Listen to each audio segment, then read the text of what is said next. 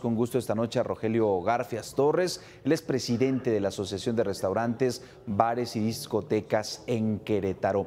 Eh, presidente, muchísimas gracias por estos minutos para Mega Noticias. Eh, ¿Realmente son nuevas estas medidas y aportarán? Porque estas revisiones de las que se habla y que se harán más estrictas, en teoría se venían haciendo o tendrían que haberse realizado. Eh, ya sabemos que una vez muerto el niño queremos tapar el pozo. Esto es algo nuevo. Hasta ahorita llevamos aproximadamente 25 clausuras masivas en el municipio de Querétaro y en general en el estado. Y son medidas que se acaban de retomar impulsivamente de cara a lo lamentablemente sucedido en nuestro hoy este ya impacífico eh, impacífico paciente de Querétaro. Claro.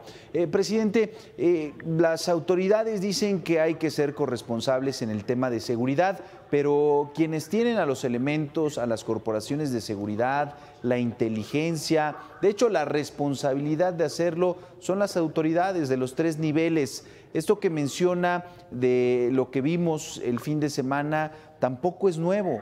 El, todo este año hemos tenido ataques en espacios comunes, en espacios públicos. ¿Se ha perdido ya por completo la seguridad en Querétaro, en la zona metropolitana?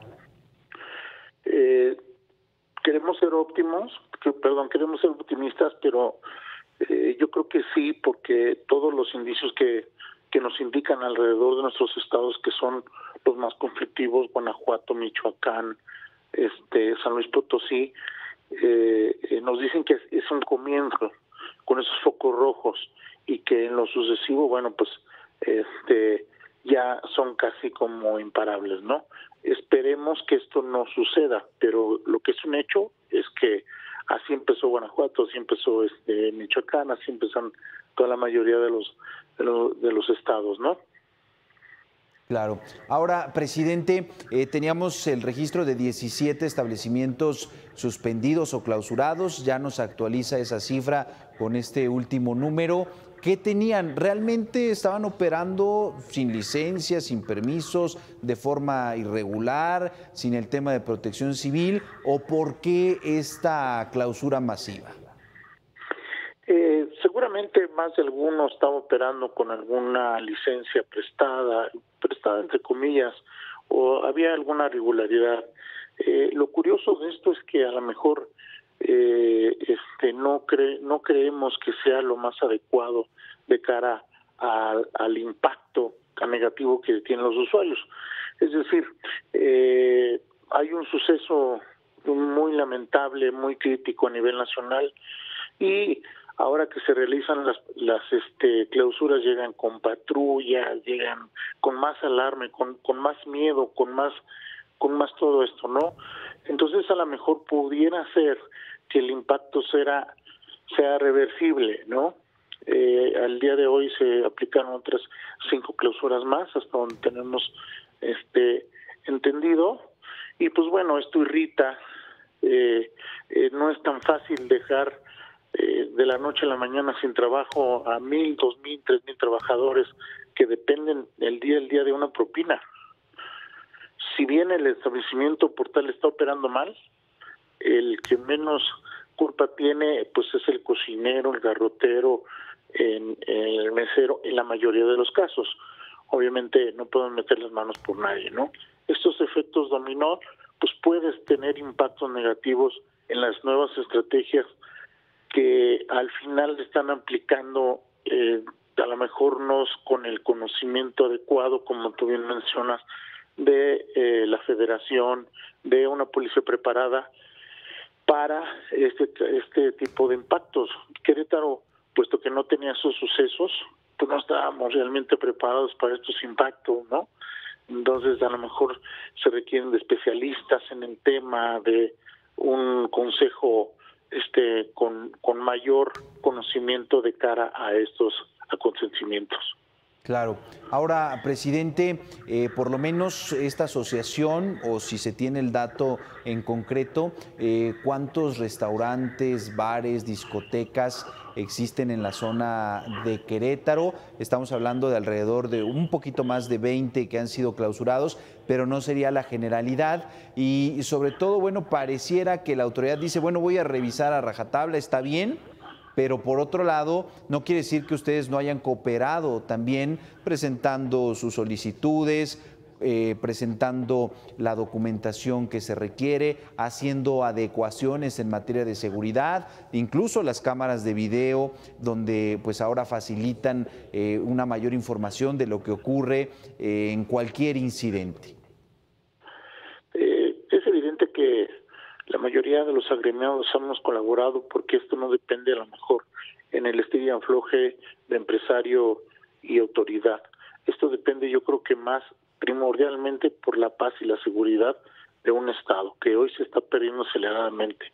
Sí, efectivamente, se entregan inmediatamente los videos, se entregan inmediatamente todo lo que lo que corresponde sin ninguna este eh, algo de oposición, ni mucho menos puesto que, repito, no estábamos acostumbrados, antes llegaban eh, los inspectores, oye, vengo, pásale, muy cordialmente, estás mal en esto, usted tienes denuncias, ok, te dejo la multa, o si amerita clausura, clausura.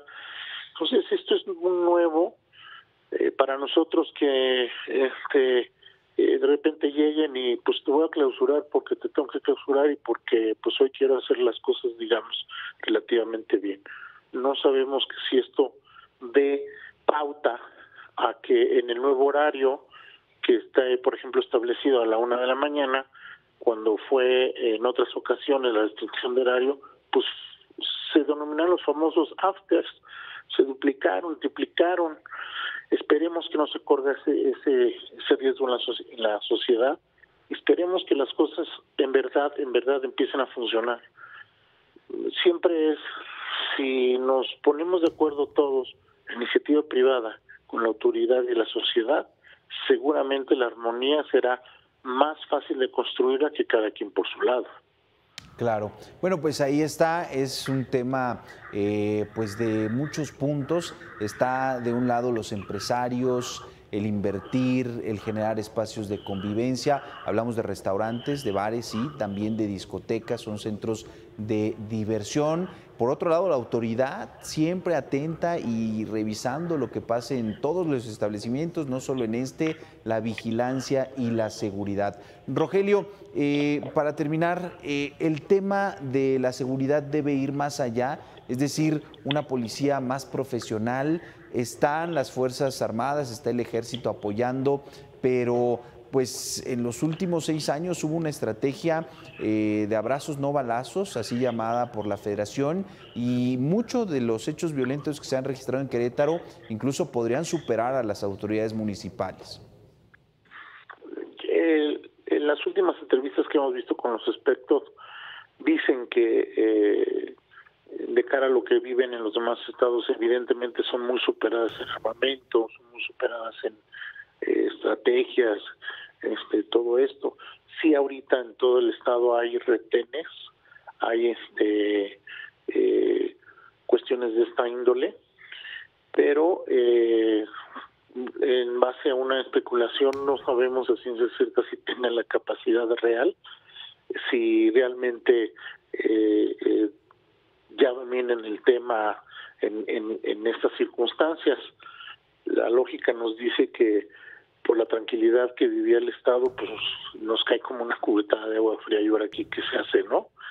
Este, eh, sí, evidentemente había focos rojos, ¿no?